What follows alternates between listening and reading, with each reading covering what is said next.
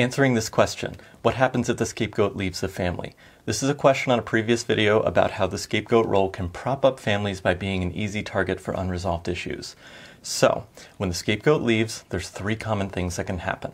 One, the family chooses another scapegoat. This is often another sibling or the non dominant caregiver. The family structure stays intact by maintaining the status quo, which in this case is always having a person to blame.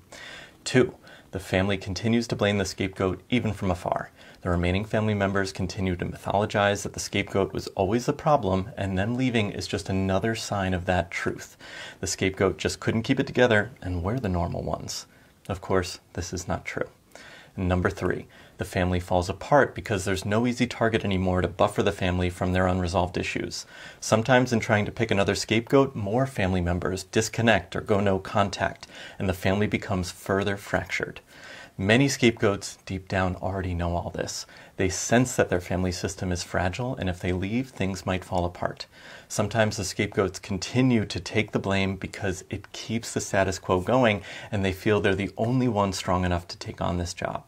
The key here is that scapegoats are not responsible for keeping families together, just like children are not responsible for preventing their parents' divorce. These patterns started long before the scapegoat ever arrived.